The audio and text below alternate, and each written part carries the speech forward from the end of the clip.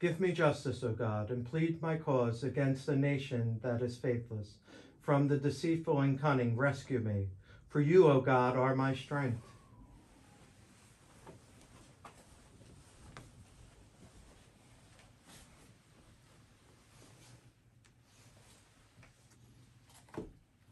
In the name of the Father, and of the Son, and of the Holy Spirit, Amen. this Mass is being offered for special intentions. The grace of our Lord Jesus Christ, and the love of God, and the communion of the Holy Spirit be with you all. And with your spirit.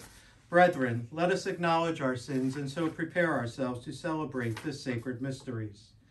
You were sent to heal the contrite of heart. Lord, have mercy. Lord, have mercy. You came to call sinners. Christ, have mercy. Christ, have mercy. You are seated at the right hand of the Father to intercede for us. Lord, have mercy. Lord, have mercy. May Almighty God have mercy on us, forgive us our sins, and bring us to everlasting life. Amen. Let us pray. By your help, we beseech you, Lord our God. May we walk eagerly in that same charity with which, out of love for the world, your Son handed himself over to death. Through our Lord Jesus Christ, your Son, who lives and reigns with you in the unity of the Holy Spirit, God forever and ever. Amen.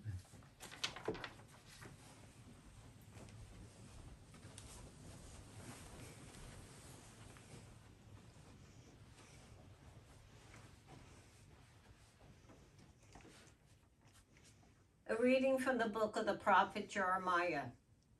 The days are coming, says the Lord, when I will make a new covenant with the house of Israel and the house of Judah. It will not be like the covenant I made with their fathers the day I took them by the hand to lead them forth from the land of Egypt. For they broke my covenant, and I had to show myself their master, says the Lord. But this is the covenant that I will make with the house of Israel after those days, said the Lord. I will place my law within them and write it upon their hearts. I will be their God, and they shall be my people. No longer will I have need to teach their friends and relatives how to know the Lord.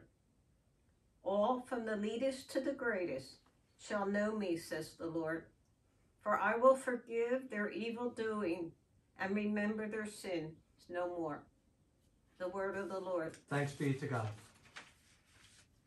Our psalm responds Create a clean heart in me, O God. Create a clean heart in me, O God. Have mercy on me, O God, in your goodness. In the greatness of your compassion, wipe out my offense. Thoroughly wash me from my guilt, and of my sin cleanse me. Create a clean heart in me, O God. A clean heart create for me, O God, and a steadfast spirit renew within me. Cast me not out from your presence, and your Holy Spirit take not from me. Create a clean heart in me, O God. Give me back the joy of your salvation, and a willing spirit sustain in me. I will teach transgressors your ways, and sinners shall return to you. Create a clean heart in me, O God. A reading from the letter to the Hebrews. In the days when Christ Jesus was in the flesh, he offered prayers and supplications with loud cries and tears to the one who was able to save him from death. And he was heard because of his reverence. Son though he was, he learned obedience from what he suffered. And when he was made perfect, he became the source, source of eternal salvation for all who obey. The word of the Lord. Thanks be to God. Praise to you, Lord Jesus, King of eternal glory. Praise to you, Lord Jesus Christ, King of eternal glory. Whoever serves me must follow me, says the Lord, and where I am, there also will my servant be. Praise to you, Lord Jesus Christ, King of endless glory.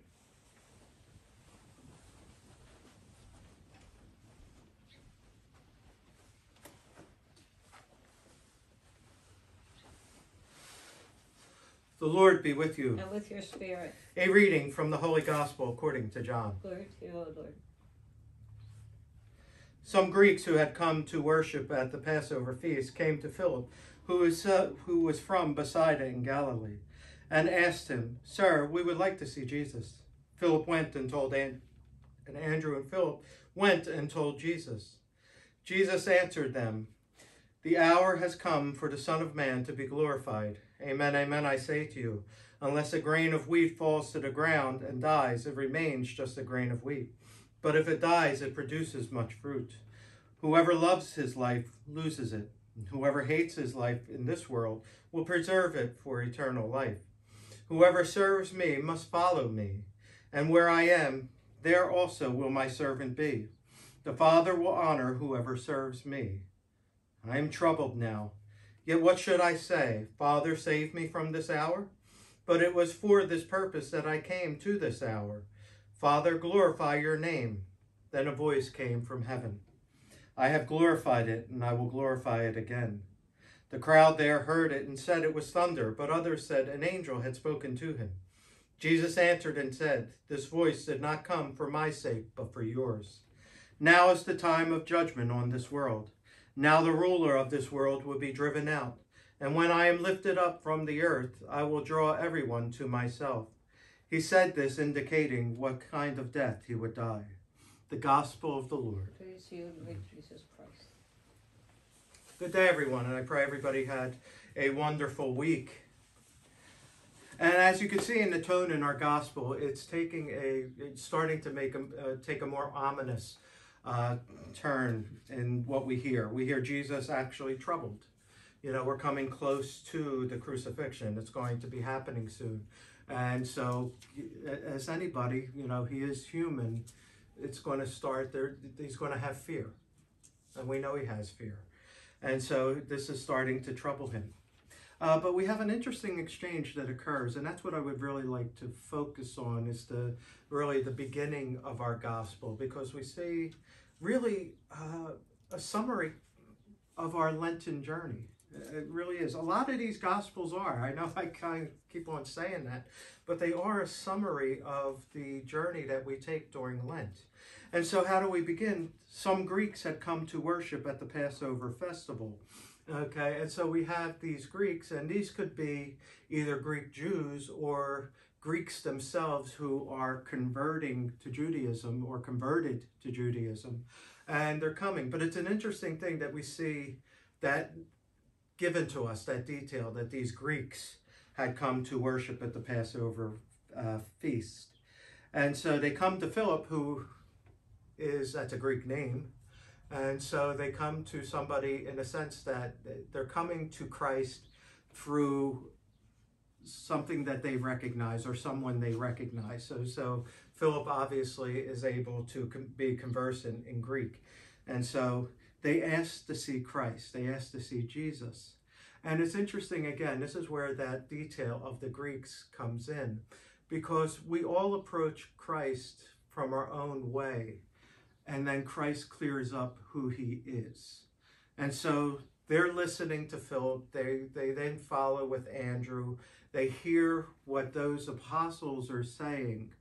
But the Greeks also have their own idea of Jesus, okay, just because of their own background and, and their own culture. That's, this is how they're going to approach it. And they're looking to meet uh, not a savior, but a great teacher. Okay, as we know, as we know, simple Greek history tells us Plato, Socrates, Aristotle. You had all the schools of philosophy there. Stoics, you know, uh, Peripatetics. You had all these different philosophies, all these uh, different academies that the Greeks had run, and they revered uh, prominent teachers. So they're looking for a teacher, not necessarily a savior. Okay, so they're approaching Christ uh, in a manner that they have an understanding of. And Philip and Andrew bring Christ to him. And what's the first thing that Jesus said? The hour has come for the Son of Man to be glorified. Amen, amen, I say to you, unless a grain of wheat falls to the ground and dies, it remains just a grain of wheat. But if it dies, it produces much fruit. And so while they're approaching him looking for teacher, he's responding to them as Savior. Okay. And again, this is why I say it really is a journey of our Lent as well. You know, again, we approach Christ uh, through our own experiences, our own cultures, our own ideas. But we have to be open to what Christ is telling us. And Christ is clarifying who he is. And he will always do that. He will clarify uh, the faith and bring people and invite people, better said by that way, invite people to enter deeply into that relationship with him. But you have to accept who he is. You might approach him as teacher, but you'll have to come to know him as Savior. And I always said that in all my classes when I taught as a layman and when I taught as a priest in the high schools and everything, I would always tell my classes, you know, if you are looking for Christ, if you're looking for the truth, capital T, truth, capital T, you will find it. You will find it. Just stay close to Christ Pursue looking for the truth, capital T, and you will find it. But I always told them you have to ask yourself what you're looking for. Are you looking for the truth, which was going to lead you to Christ, or are you looking for the truth, lowercase t, where this is my truth? You know, so many times we hear people say that today. Oh, this is my truth. This is my reality. This is my truth. That's not necessarily Christ's truth. And sometimes people say, oh, I found God when I found myself or I found my truth. It's a very, I will say this, it's a very dangerous statement because a lot of times the God that they find that validates them and everything is the God that looks back at them from their own mirrors. You know, it's not that they found Christ, it's, it's that they found some validation of themselves you know, and we have to know ourselves. You know, the philosophers tell us that, you know, and that's an important thing. But if we're pursuing Christ, he's not always going to validate. He's going to challenge because he wants us to enter that mystery and enter that relationship in a deeper sense. And so again, my friends, this is a Lenten journey. We approach him with our own ideas, with our own ways of thinking, and all of that, with our own baggage, if you will. But when we meet Christ, we have to give up all that and understand who he is and who he is telling us that he is. It's more than teacher, it's Savior. God bless you. Please stand. I believe in one God, the Father Almighty, maker of heaven and earth, of all things visible and invisible. I believe in one Lord, Jesus Christ, the only begotten Son of God, born of the Father before all ages, God from God, light from light, true God from true God, begotten, not made, consubstantial with the Father. Through him all things were made. For us men and for our salvation, he came down from heaven, and by the Holy Spirit was incarnate of the Virgin Mary and became man. For our sake he was crucified under Pontius Pilate. He suffered death and was buried, and rose again on the third day in accordance with the Scriptures. He ascended into heaven and is seated at the right hand of the Father. He will come again in glory to judge the living and the dead, and his kingdom will have no end. I believe in the Holy Spirit, the Lord, the giver of life, who proceeds from the Father and the Son, who with the Father and the Son is adored and glorified, who has spoken through the prophets. I believe in one holy Catholic and Apostolic Church.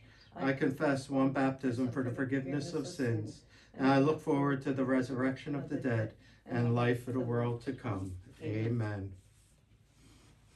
Entrusting ourselves to the life giving power of God, we voice our prayers to the Father.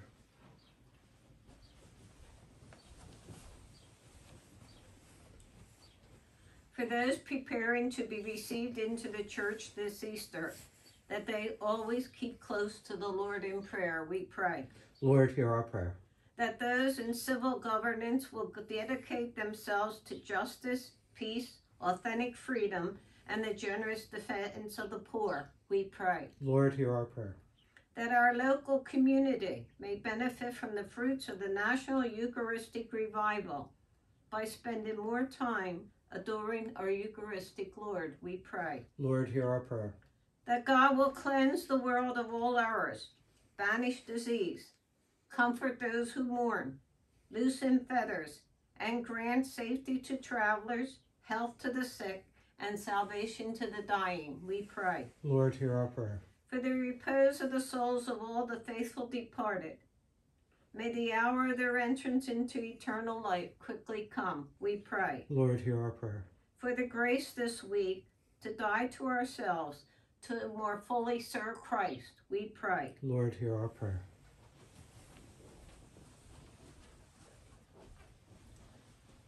Let us pray also for the men and women in our military and our first responders. May they come home safely and soon, and may those who have seen violence find peace. Let us pray to the Lord. Lord, hear our prayer. Most merciful Father, forgive our evil doing and remember our sin no more. Prepare our hearts for the passion, death, and resurrection of your Son. We ask this as we ask all things through Jesus Christ our Lord. Amen.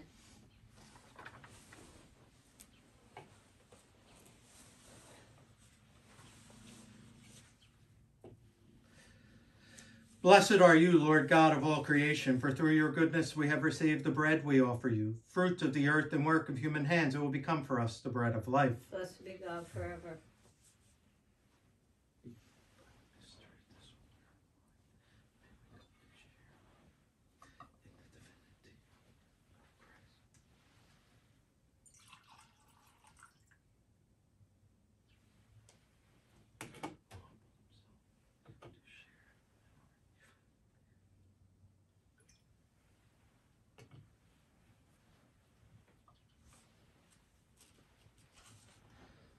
Blessed are you, Lord God of all creation, for through your goodness we have received the wine we offer you, fruit of the vine and work of human hands. It will become our spiritual drink. Blessed be God forever.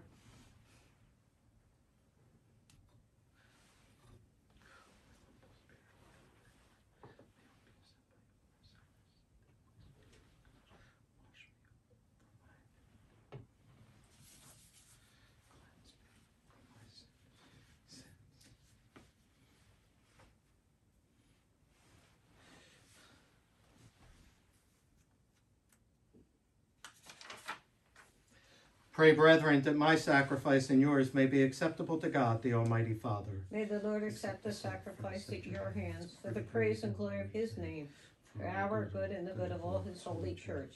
Hear us, Almighty God, and having instilled in your servants the teachings of the Christian faith, graciously purify them by the working of this sacrifice through Christ our Lord. Amen.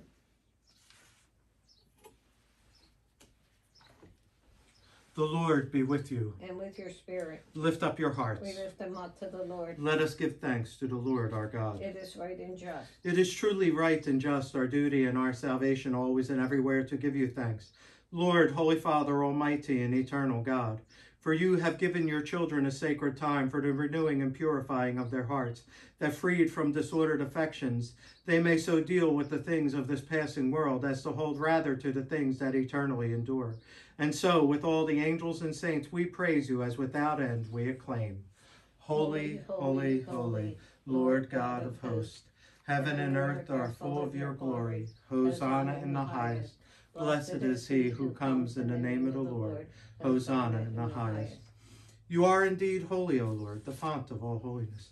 Make holy, therefore, these gifts, we pray, by sending down your Spirit upon them like the dewfall, so that they may become for us the body and blood of our Lord Jesus Christ. At the time he was betrayed and entered willingly into his passion, he took bread, giving thanks, broke it, and gave it to his disciples, saying, Take this, all of you, and eat of it, for this is my body, which will be given up for you.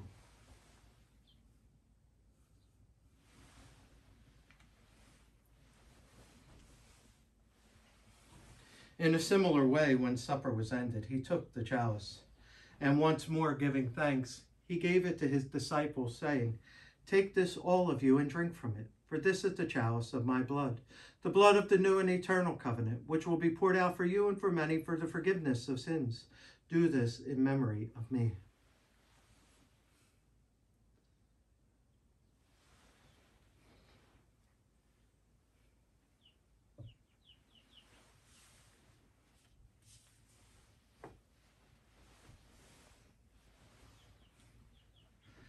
The mystery of faith. We proclaim your death, O Lord, and profess your resurrection until you come again. Therefore, as we celebrate the memorial of his death and resurrection, we offer you, Lord, the bread of life and the chalice of salvation, giving thanks you've held us worthy to be in your presence and minister to you. Humbly we pray that partaking of the body and blood of Christ, we may be gathered into one by the Holy Spirit. Remember, Lord, your church spread throughout the world and bring her to the fullness of charity, together with Francis, our Pope, and Nelson, our Bishop, and all the clergy. Remember also our brothers and sisters who have fallen asleep in the hope of the resurrection, and all who have died in your mercy. Welcome them into the light of your face. Have mercy on us all, we pray, that with the Blessed Virgin Mary, Mother of God, with blessed Joseph, her spouse, with the blessed apostles and all the saints who have pleased you throughout the ages, we may merit to be co heirs to eternal life and may praise and glorify you through your Son, Jesus Christ.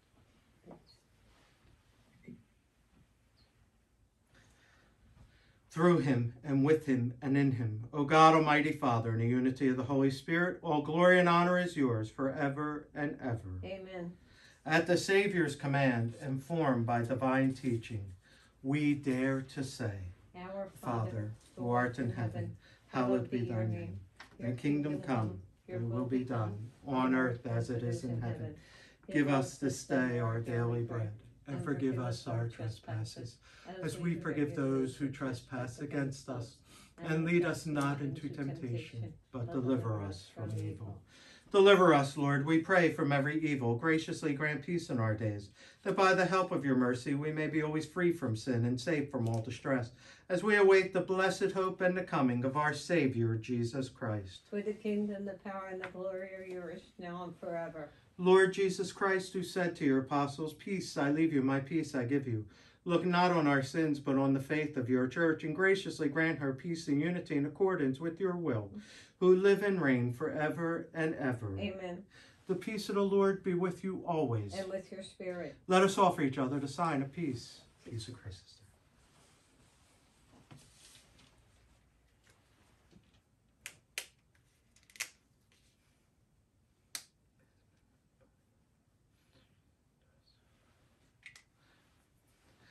Lamb of God. You take away the sins of the world, have mercy on us. Lamb of God, you take away the sins of the world, have mercy on us. Lamb of God, you take away the sins of the world, grant us peace.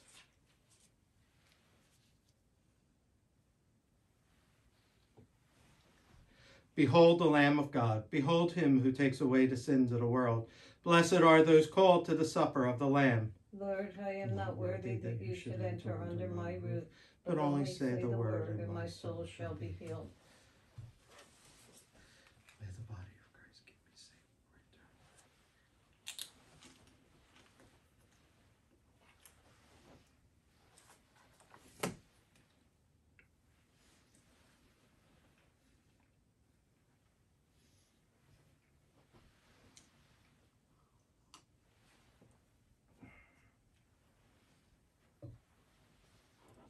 Amen, amen, I say to you, unless a grain of wheat falls to the ground and dies, it remains a single grain.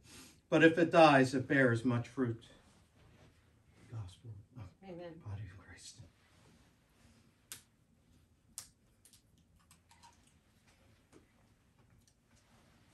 The blood of Christ.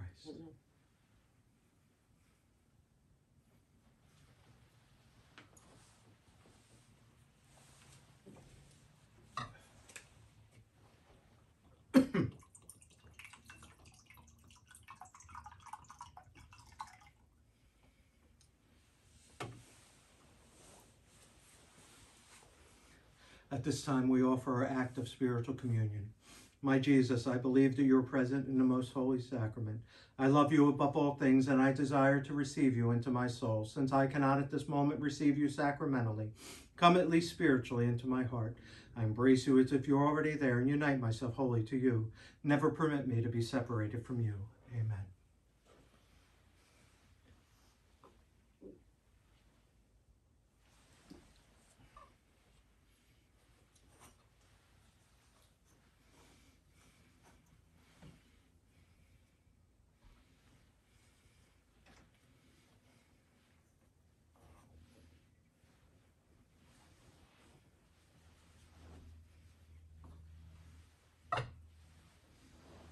Let us pray. We pray, Almighty God, that we may always be counted among the members of Christ, in whose body and blood we have communion, who lives and reigns forever and ever. Amen. The Lord be with you. And with your spirit. Bow for the blessing. Bless, O Lord, your people who long for the gift of your mercy, and grant that what at your prompting they desire, they may receive by your generous gift through Christ our Lord. Amen. May Almighty God bless you, the Father, the Son, and the Holy Spirit. Amen. Go forth, the Mass is ended. Thanks be to God. And have a blessed and wonderful week, everyone.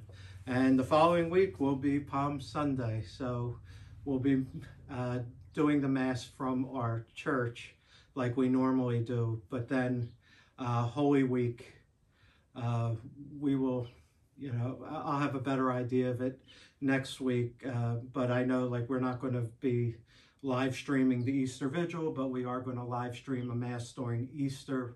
And uh, you're more than welcome to uh, watch that.